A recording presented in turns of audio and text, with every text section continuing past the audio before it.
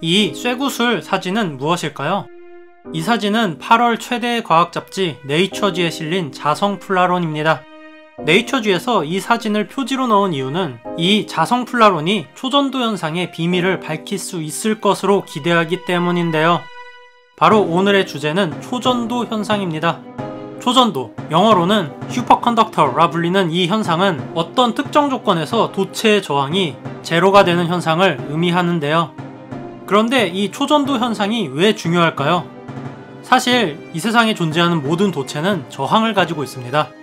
저항은 전류의 흐름에 방해가 되는 모든 요소들을 말하는데요. 이 저항에 의해 발생하는 열 때문에 수많은 전자기기의 성능에 큰 제약이 걸리게 됩니다. 사실 이렇게 얘기하면 많은 학생분들은 저항이 적은 도체가 얼마나 중요한지 그 필요성을 못 느껴서 어, 좀 더 필요성을 느끼기 쉽게 예를 들자면 여러분이 30만원짜리 똥컴으로 배그를 풀옵션으로 못 돌리는 이유가 바로 이 저항 때문입니다. 이게 무슨 소리냐면 CPU의 클럭 수가 이미 지금보다 훨씬 더 후졌었던 지금으로부터 20년 전에 CPU가 이미 3GHz 근처를 찍었는데 아직도 오버클럭 없이 CPU의 클럭 수가 5GHz를 넘지 못하고 있는 이유가 바로 이 저항으로 인해 발생하는 온도 때문이기 때문입니다. 지금으로부터 20년 전에 제가 중학교 다닐 때만 해도 CPU의 클럭 수가 매년 거의 두 배씩 상승하던 시대가 있었는데요. 286 컴퓨터 때부터 경험해본 저로서는 당연히 10년 후만 되면 CPU의 클럭 수는 10GHz를 가뿐히 넘길 거라고 생각했는데 당시에 담임 선생님이 저항을 더 줄일 방법을 알아내지 못하면 CPU의 클럭 수는 4GHz대가 한계다 라는 무시무시한 말을 했었습니다. 그 당시에는 CPU 클럭 수가 매년 더블로 늘고 있어서 이게 말도 안 되는 소리라고 생각했는데 결국 담임 선생님 말씀대로 오버클럭 없이는 현재 10년이 넘도록 4GHz대에서 CPU의 클럭 수가 머물고 있는 상황입니다. 자 이제 저항이 낮은 도체의 중요성을 피부로 좀 느끼셨을 텐데요. 그러면 대체 이 망할 저항은 왜 생기는 걸까요? 일단 전기라는 건 전자의 이동을 의미합니다.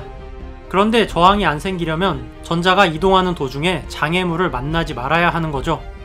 그러면 장애물이 없는 도체를 만들면 간단할 것 같지만 사실은 그렇게 간단하지가 않습니다.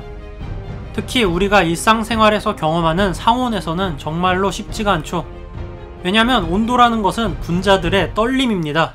즉 분자들의 운동 에너지가 온도라고 볼 수가 있는데요.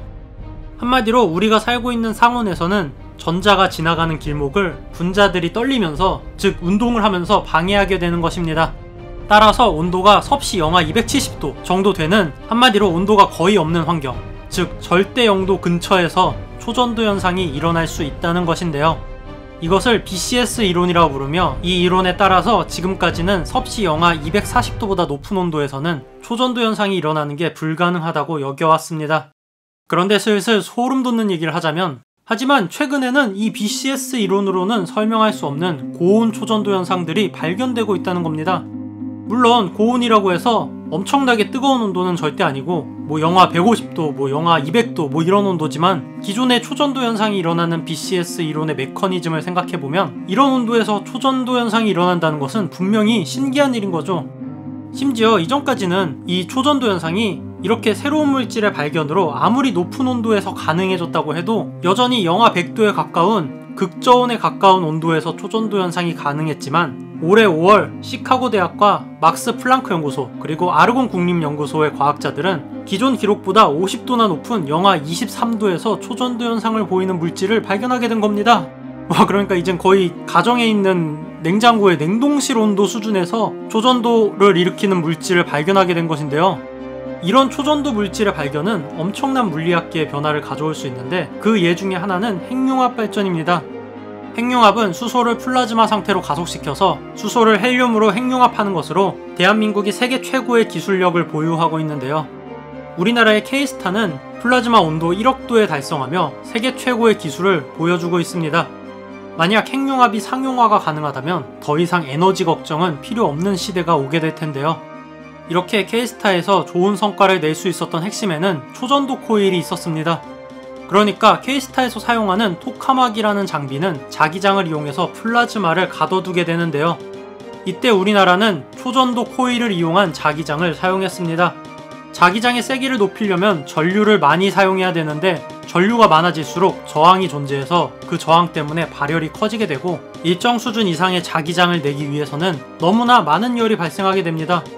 그 이유는 저항에 의해서 열이 발생하는 공식은 전류의 제곱 곱하기 저항인데요.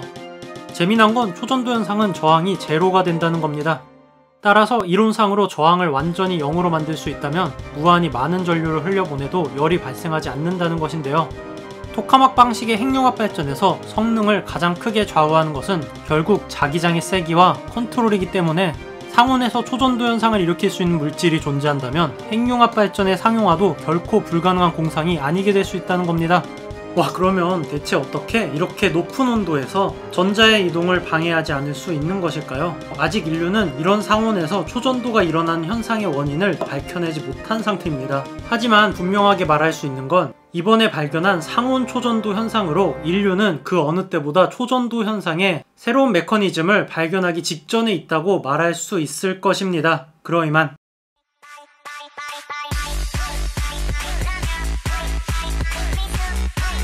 Bye.